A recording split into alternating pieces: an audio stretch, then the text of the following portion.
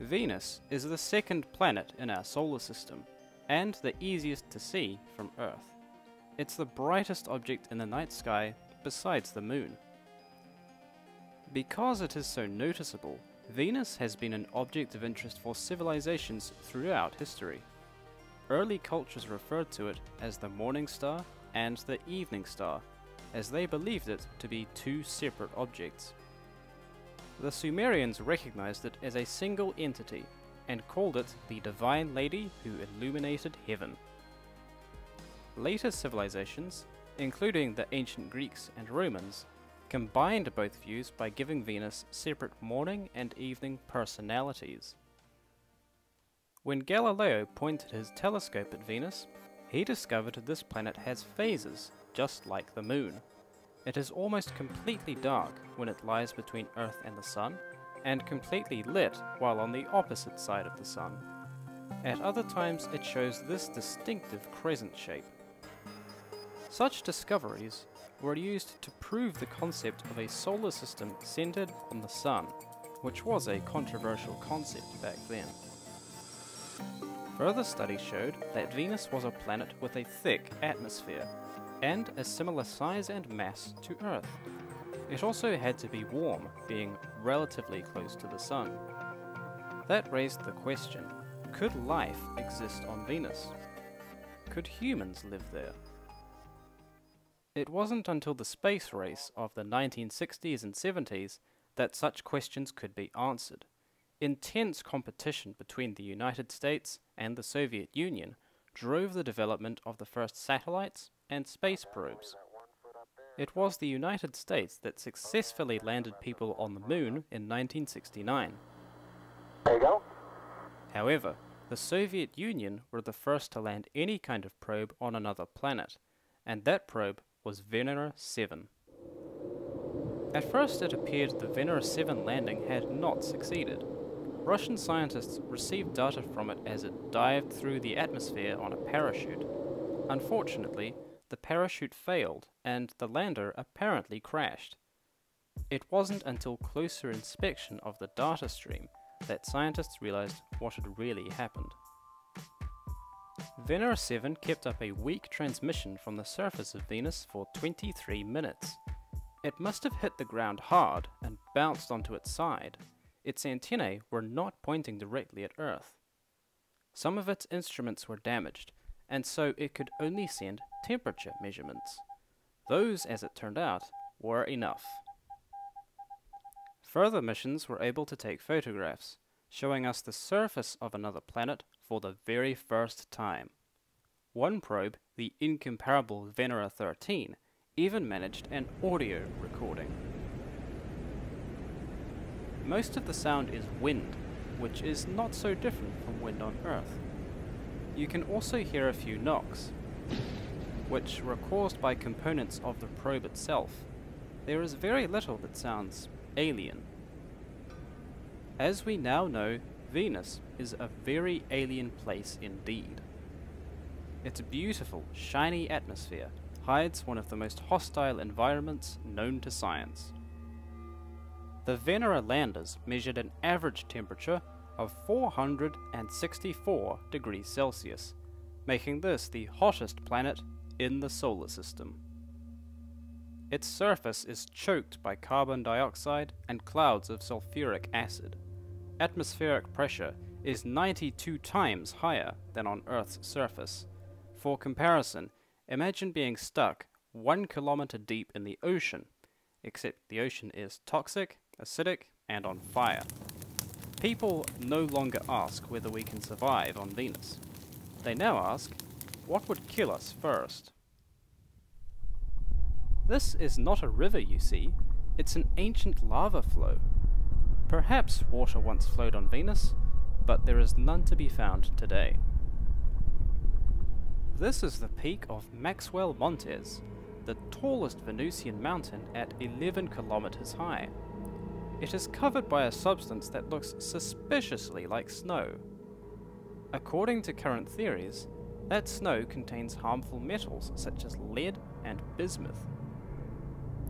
At lower elevations, the extreme temperatures cause these metals to melt or sublimate. This radar map was constructed by the Magellan orbiter in the early 1990s. It used radio waves to penetrate the thick clouds and see down to the surface of Venus, revealing a stunning variety of geographic features. Like the planet itself, these features are typically named after women from history and mythology.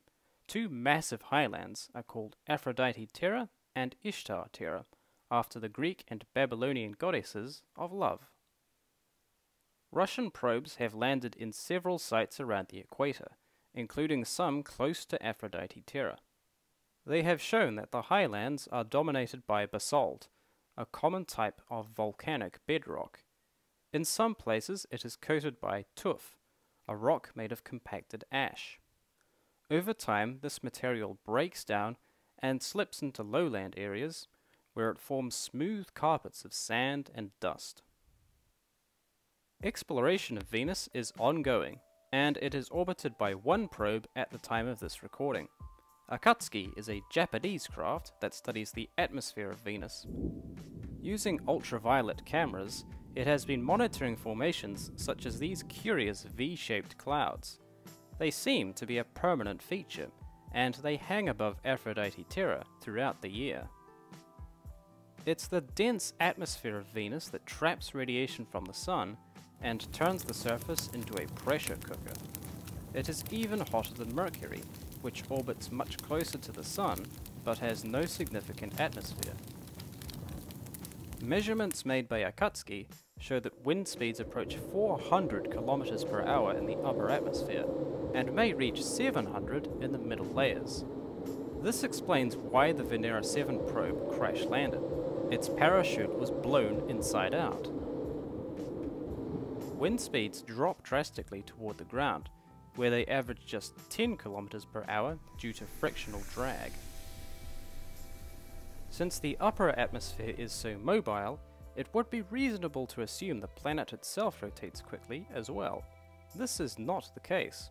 In fact, Venus rotates so slowly it is going backward. Whereas all other planets spin anti-clockwise, this one spins clockwise. Even along its equator, where rotational speed is the greatest, it is slower than an average person running. Venus orbits the Sun in the normal direction, with one full orbit taking 225 Earth days.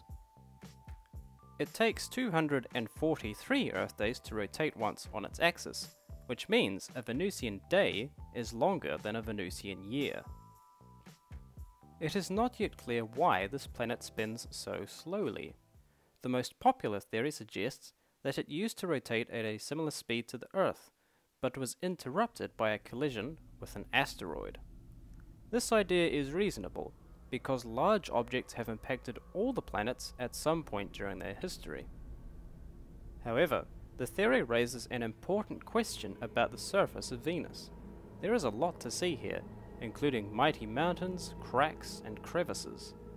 But where are all the impact craters?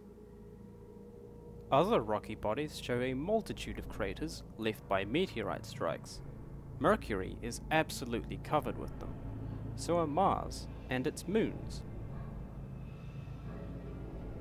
The Earth's moon also displays an impressive collection. Why then are there so few craters on Venus? No doubt some meteorites burned up in its atmosphere before they could reach the ground. However, this planet has existed for just as long as the others. Some large objects should have made it to the surface. There is another rocky planet on which impact craters are hard to find Earth. The surface of our planet is being continually renewed by processes such as plate tectonics and erosion, which erase even large craters over geological time. Erosion buries the crater floors with sediment, and plate tectonics eventually drags them into the hot mantle.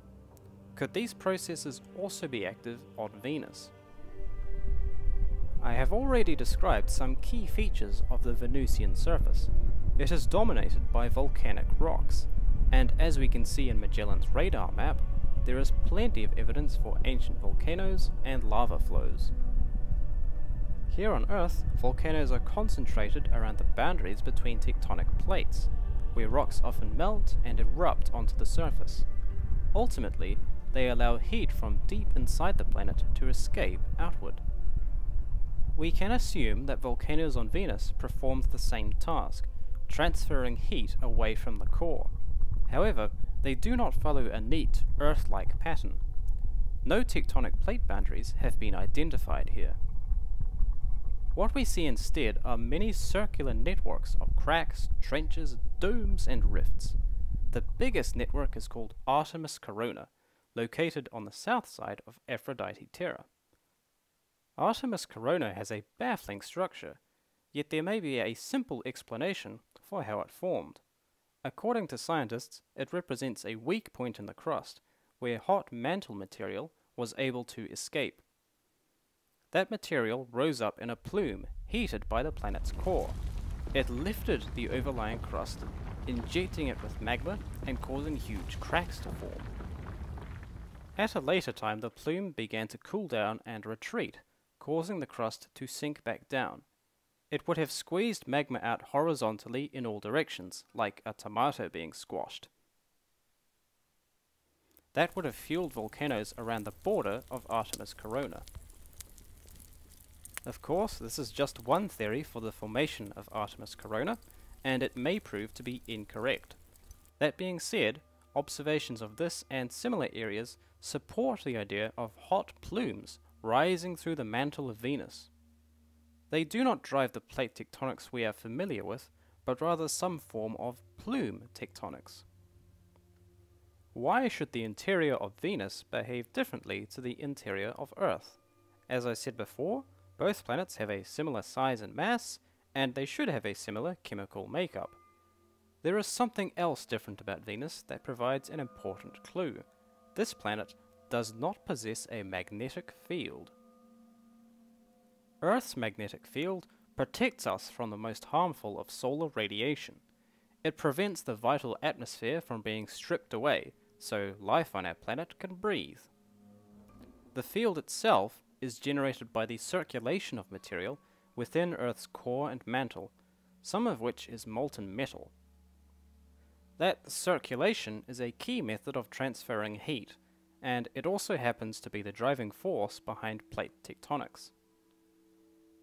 Since Venus does not have a magnetic field, and doesn't seem to undergo regular plate tectonics, we may conclude that its mantle and core do not circulate, at least not to the same degree as Earth. Its internal layers are stagnant, and its core may have completely solidified. At the moment there is no way to know for sure, but it could explain why mantle plumes occur inside this planet. They are the most efficient option remaining for taking heat away from the core and up to the surface. Based on the number of impact craters that are visible on Venus, its surface is thought to be just a few hundred million years old. That is a long time, to be sure, but it's just a fraction of the four and a half billion year history of our solar system. It also suggests that volcanoes were active all over Venus as recently as the Triassic period, when the first mammals were evolving. It's unlikely that all of Venus was covered by lava at once, but the eruptions would have been nonetheless impressive, Similar events have also taken place on prehistoric Earth. They are called flood basalts. One of them is preserved in the Siberian Traps of Russia. The event that forms these cliffs erupted enough lava and ash to alter the climate. It may have even triggered the greatest mass extinction of all time. We have seen evidence that this type of event happens regularly on Venus, renewing its surface with a fresh coat of lava. It is surely the most inhospitable place in the solar system. Venus may not be a friendly world, but that won't stop our space agencies visiting it. The Akatsuki orbiter will be joined by two new probes in a few years, called Da Vinci Plus and Veritas. They will help scientists to understand the geological history of the planet, in particular how its atmosphere developed, why it is so different from Earth, and whether it used to have water on its surface. Further missions are inevitable because, as I have hopefully convinced you, Venus is a truly remarkable place. Its beautiful clouds disguise a hellish landscape that hints at an unimaginably destructive past. To understand how all this came about would be a massive achievement for science. I, for one, am looking forward to the next discovery. Thank you very much for watching this presentation. I hope you found it interesting. There are some extra resources in the video description, so please look at those if you want to learn more about Venus. Feel free to leave any feedback or questions in the comment section below. You can also click the like button and subscribe to my channel to show your support. Thanks again, and good luck with your studies.